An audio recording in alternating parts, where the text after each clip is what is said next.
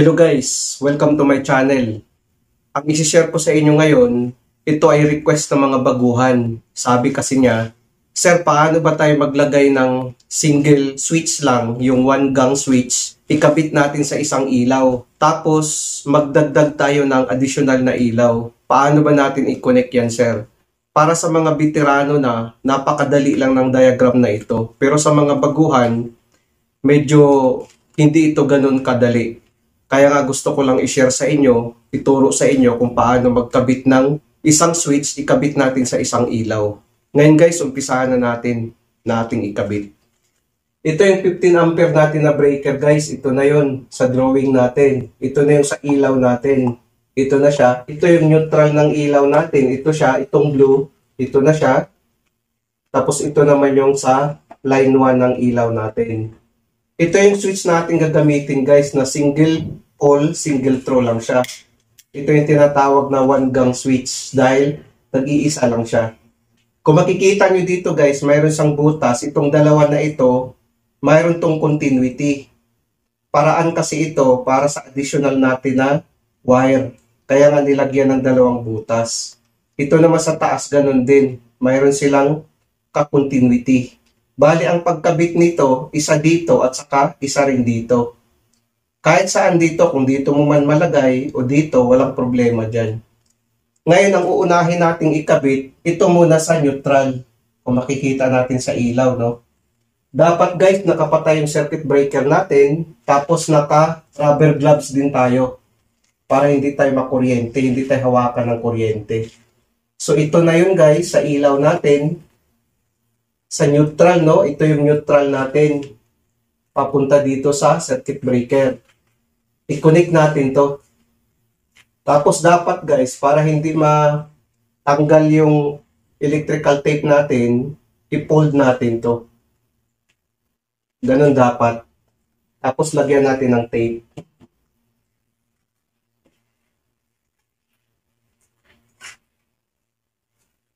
Tapos, binatin natin. Tapos ito naman, papunta sa circuit breaker natin sa line 1, ito na yon. Papunta naman ito sa switch natin. Mayroon tayong dalawang cable dito. Ilagay natin ang isa nito. Splicing natin to.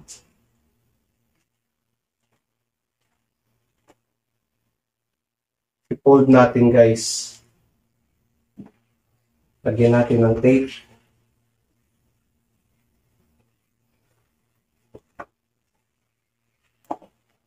Tapos ito namang isa na ito, ito yung ilagay natin sa switch. Lagay natin dito.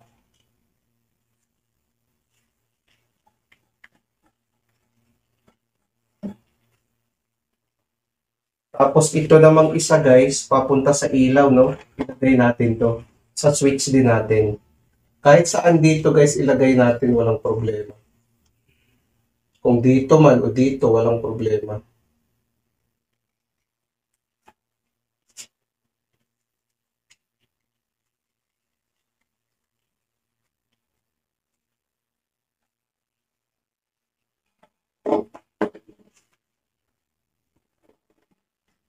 Tapos ito siya guys, papunta siya ngayon sa ilaw, no? Ito yung sa ilaw natin, no? Kung makikita natin. Itong return niya, papunta sa ilaw. Ito siya, i-connect natin dito.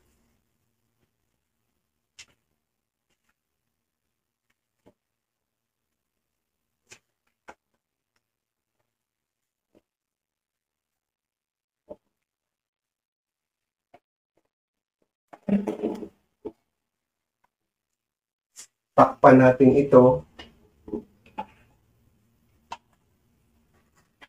Tanggalin natin to kasi hindi natin siya makabit kung hindi natin matanggal ito.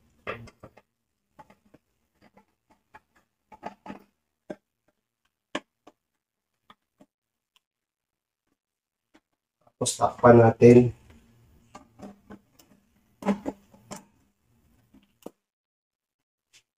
Takpan din natin ito. Dito sa ibang bansa guys, ang pababa niya, yun yung on. Ang taas, yun yung off. Sa Pilipinas kasi, ang taas, ang on, ang baba, ang off. So magkaiba sila, no? Pag ganun dito, naka-on. Pag ganun ang off. Ngayon, itry natin. I-on natin ang circuit breaker. I-on natin. Ganun ang on niya, guys. Ganito naman ang off. Ang on niya pababa, ang off niya pataas. Ngayon, isi-share ko rin sa inyo kung paano tayo magdagdag ng additional na ilaw. Ang gagawin natin guys, ito, wag na natin itong tatanggalin. Magparalel na lang tayo dito sa ilaw. Halimbawa, magdagdag tayo ng tatlong ilaw. Iparalel lang natin guys.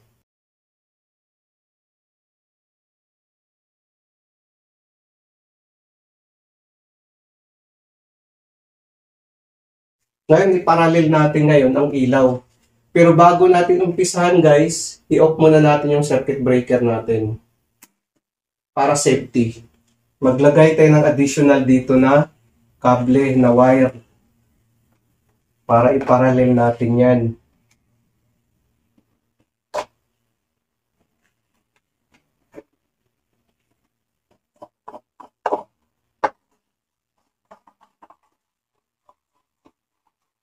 Ang gagawin natin ngayon guys, iparalel lang natin dito sa ilaw, no? Nakaparalel lang siya. Yun lang ang connection niya. Wala na tayong baguhin dito sa switch natin. Ito yung sa ilaw natin, kung makikita natin, no? itong dalawang kable na ito. Itong dalawang cable na ito. Tanggalin muna natin to. Kung makikita nyo dito guys, mayroon tayong nilagay na cable, no? I-connect lang natin dito sa ilaw. Kasi ito din kasi, additional to para sa ilaw. Connect natin to dito. Hold natin. Lagyan natin ng tape.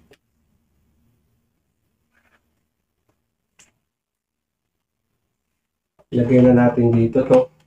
Tapos ito namang brown, ilagay din natin sa ilaw. Ito yung sa ilaw natin, no? Tanggalin din natin to. Iparalel din natin dito ito.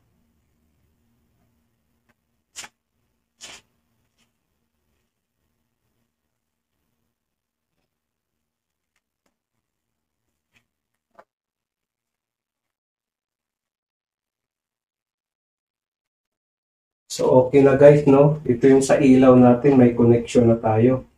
Ito na ang labas nun. So, bali itong dalawang ito, iparalel lang natin dito sa ilaw natin. Ito yung ilaw natin, no? Itong dalawang ito, iparalel lang natin. So, mayroon tayong color coding, ang brown at saka brown, i-connect natin. At saka, blue at saka blue i-connect din natin dito. Ngayon guys, mayroon naman tayo dito nakaabang na cable para din dito sa isang ilaw. So i-connect din natin ito. Ang gagawin natin, itong brown na cable, brown to brown lang. Ganyan lang natin guys. Tapos splicing natin.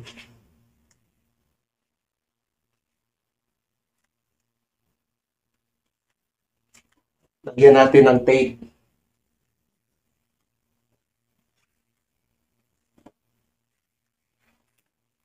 Tapos ito namang blue to blue na cable, kabit din natin dito. Ito na kasi yung papunta dito sa kabilang ilaw natin. Splicing natin.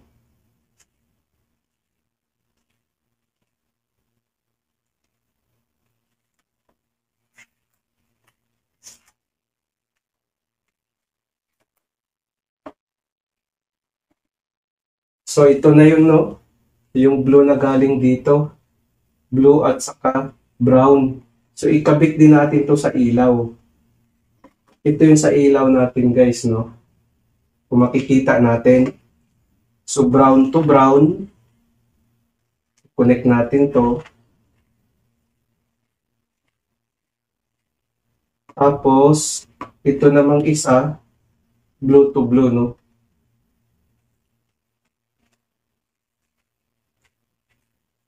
Tapos ngayon, dahil mayroon din tayo dito nakaabang na cable para sa isang ilaw natin, ikabit din natin to. dito rin para iparalin natin sa isang ilaw. Brown to brown at saka blue to blue.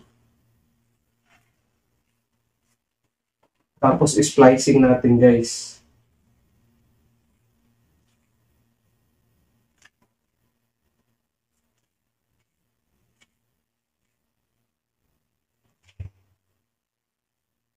Tapos lagyan natin ng tape.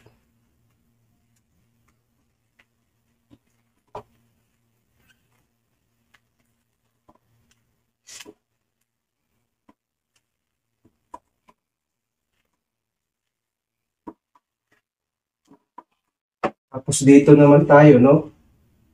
Ito na yung na-splicing natin dito. Ito na yung dalawang cable, no? I-parallel din natin dito sa ilaw, blue to blue. Tapos brown to brown. Splicing natin.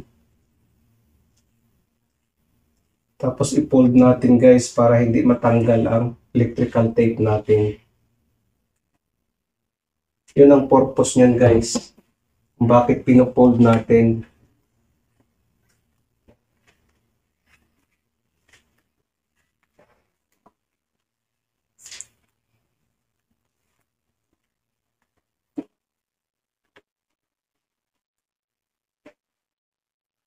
So, ganun lang siya guys, no? Ngayon, takpan natin.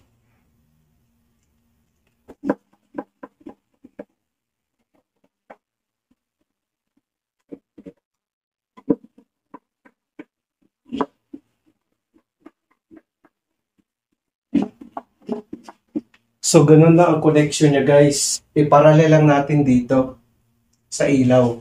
Ngayon, itry natin. I-on natin ang circuit breaker.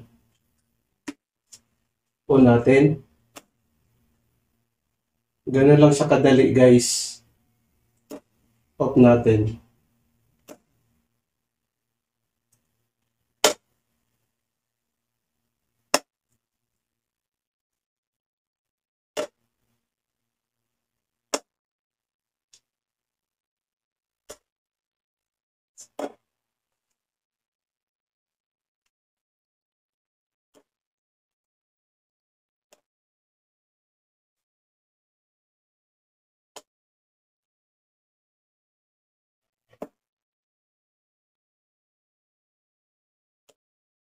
Sa mga baguhan pa lang sa aking channel, maaari po kayo mag-subscribe, pakipress ang notification bell para updated kayo sa mga susunod kong mga video.